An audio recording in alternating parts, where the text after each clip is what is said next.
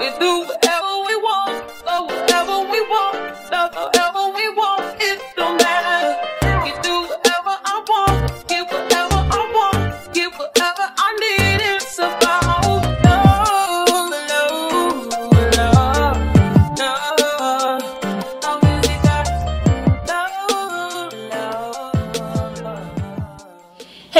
fam, it's your girl Gwladys and welcome to Is That Your Hair? I create hair, fashion, and lifestyle content that will encourage you to be your best self. So if you are into that, you're in the right place. Today I'm showcasing a unit from Sensationnel from their Butta Lace collection, Unit 16. Right now I'm wearing Unit 10, right? And this wig is gorgeous. Highly recommend if you want to see all the details on that, check out the video I have linked in my description box after this video. But today is all about unit 16 and I'm gonna do it as a talk through style so I can really get into nitty gritty of how I feel about this unit. I have a feeling I'm really gonna like it. And y'all did express that y'all like when I do my little talk through videos. So I'm gonna try to do that a little bit more. Also, if you're new here, make sure you check me out on Instagram. I'm on there very regularly. I post in my IG stories, I post in my feed. So if you wanna continue to keep up with me outside of YouTube, find me on Instagram. All right, y'all, so let's take a look at Butta Lace 16. Uh, This is her out the pack. I already cut the lace and honey, ooh. First of all, just looking at her and feeling her, this unit is gorgeous. Wow. Look at look at this texture.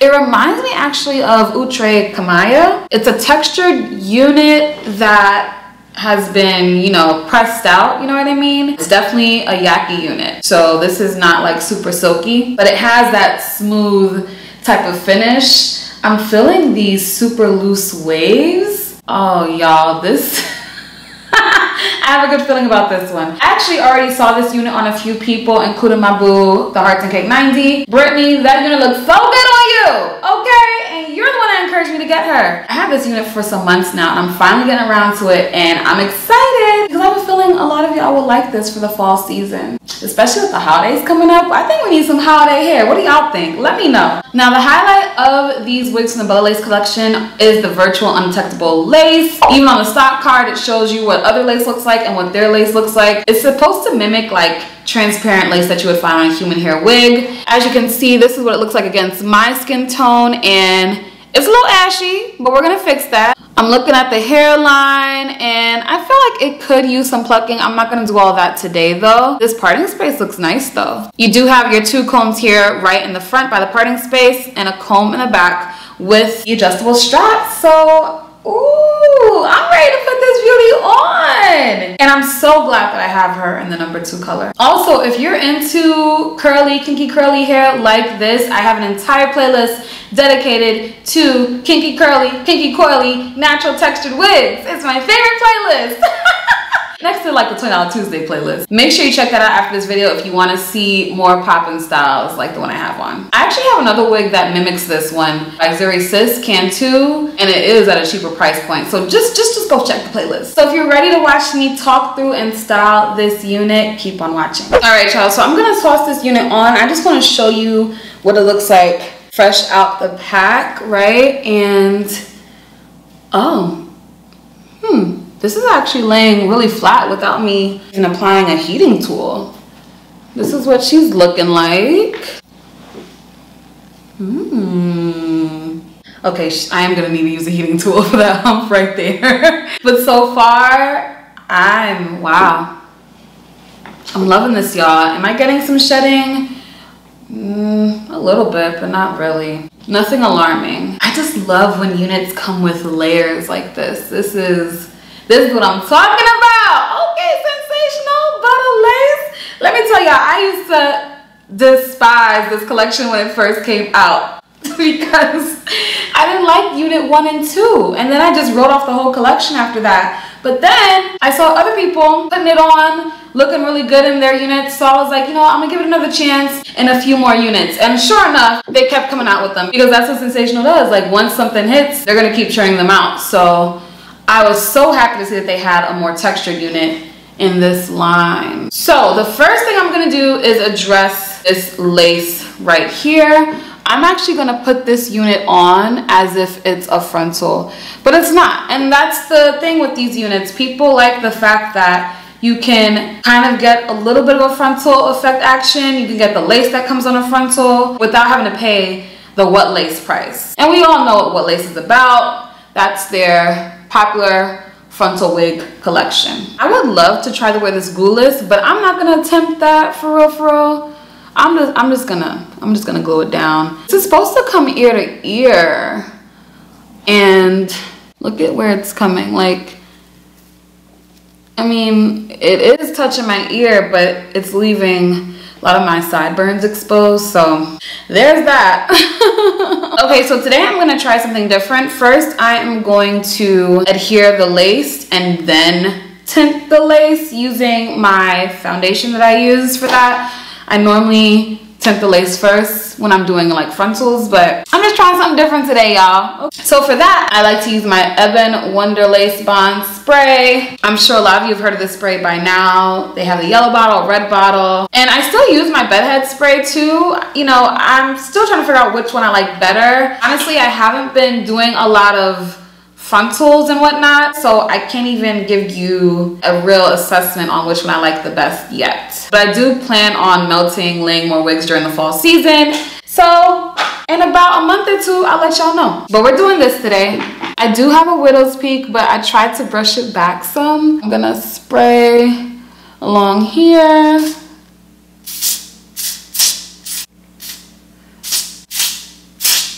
And then I'm gonna get my handy dandy blow dryer. This blow dryer is so nifty and cute. I love that it folds. It's a great travel size dryer. Highly recommend. I'll link it down below. And all the items that I'm using in this video are linked in my Amazon storefront. All the links are in my description box. Look through that description box, y'all. It's super helpful. All the information is there. Of course, if you have any questions, talk to me in the comments. But make sure you look through that description box first.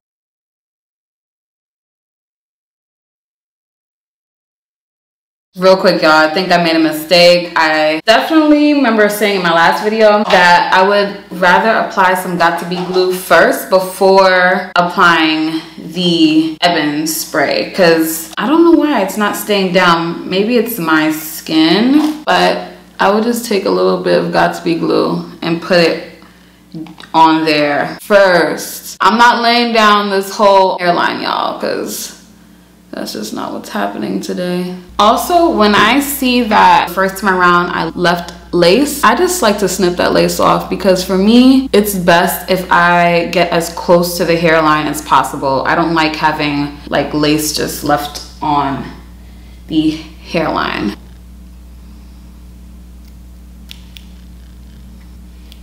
I am getting more shedding. I don't know if it's because I cut close to the hairline or what but I am getting some more shedding. Whew, y'all, this thing definitely got crusty off camera. I'm like, am I losing my touch? I need to practice more because that doesn't usually happen to me. But anyway, so now let's address this lace, right? So I decided that I'm not gonna lay down the whole hairline because this isn't really working for me to be able to do that. So I'm just gonna focus on up here. So to change the color of the lace today, I'm gonna use my CoverGirl TruBlend Matte Foundation in the color D90. You can definitely find it in my description box. And I like using this because it works really well when I'm addressing situations like this. I think it blends really nicely with my skin tone. And that's something that I really wanna recommend to y'all. Use the foundation. Don't try to like go in with powder just straight out the gate on this ashy type of lace. Don't do that. It's gonna look weird, chalky, Blech. Go in with a foundation because the creamy foundation is going to penetrate this lace and change the color nicely. And I'm gonna show you how. So I'm gonna use this angled brush here. And I love this brush, it's only a dollar on Amazon. I'm gonna apply the foundation to my angled brush and I'm just gonna scoot up a little bit and get up and close and personal with y'all. I'm just going to go like this. I'm going to dab wherever I see ashy gray, I'm dabbing the foundation. And do you see the grayness disappearing? Comment down below if you see it, let me know. This is what I've been doing with my lace front units and it seems to work pretty well. You see how the foundation melts in right away. This camera picks up everything so I know y'all can see all the nitty gritty of this right here. How is this looking compared to how it looked before? Let me know in the comments, y'all. Now when it dries, after like it completely dries, you know, you can kind of dust over your hairline with a pressed powder if you like. I know sometimes I do that. Just don't do it from the onset. That's all I ask. ash, ash, go away, come again. Another day or never. okay, so already this looks a lot better. So much better. I'm telling y'all, with these synthetic wigs, do not wear them out the pack. Do not walk out your house with the ashy gray lace on your forehead. People are gonna talk about you, including your family members. Take it from me, Gwladys. Take it from me. Don't do it.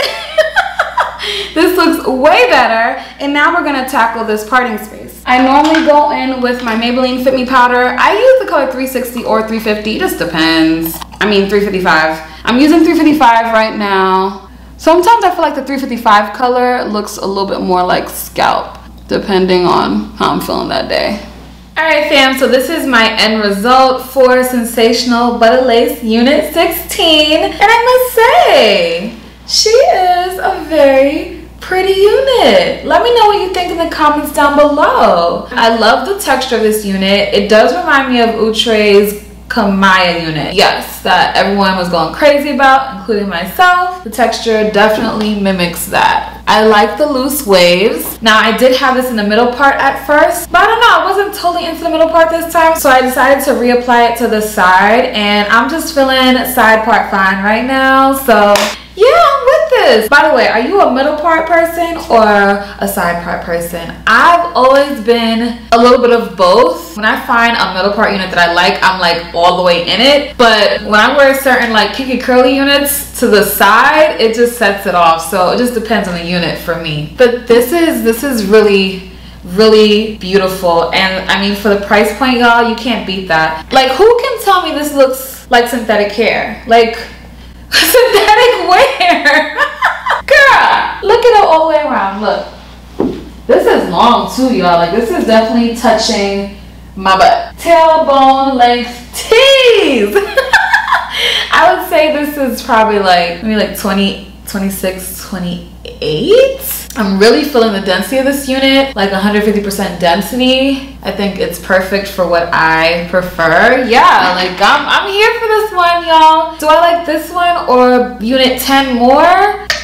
I like unit 10 a little bit more just because in general, it's a preference. When I have a curly or kinky curly unit that I like, you know, I just get so excited. So it's hard to compete with that, but this is also a very pretty style. I do wish that the layers came up a little higher, but even right now, like I'm grabbing my scissors and I just kind of want to chop some of the layer off. You see what I'm saying? Like, I just want to do that. Now I know some of you are like, Gwladys, what the hell are you doing? Look, I've been chopping up these units for a long time. So I don't have any fear left in my heart, okay? I just feel like that frames it a little bit more. I think in general, I just like when my layers start up a little higher, but that's personal preference. She's cute, y'all. She's really cute. When I shifted her to the side, I no longer was like using the lace over here. So, because my widow's peak loves to peek through. So I just ended up filling it in with a brown pencil and it was fine. It's looking decent on the side here, but we're not giving like total pre-plucked action like I would normally see on a melted hairline unit. So here for it though. I think it's very pretty, very holiday appropriate. I'm looking at it. Do I want a little more volume on this side? What do I want? What do I want, Gwladys? No. I like it like this. Please share your thoughts on this unit in the comments down below. Have you tried Unit 16? How do you feel about the Butta Lace series in general? Let your girl know. Also, I'm calling y'all out that don't be commenting. If you've been watching me for a minute and you've never commented before, let today be the day that you say hello to your girl. I always reply back. Go ahead, drop me a comment down below. And if you're new here, you may as well tap that subscribe button, hit the notification bell so that you don't miss any of my upcoming content. I'm super excited about the videos I have coming your way from now until the end of the year. So I hope your notification bells are on. I really do. Also, shout out to y'all that have been watching my try hauls, my vlogs. Thank you so much. It means a lot to me. I really appreciate y'all joining me for this video and I will see you in the next one. Bye.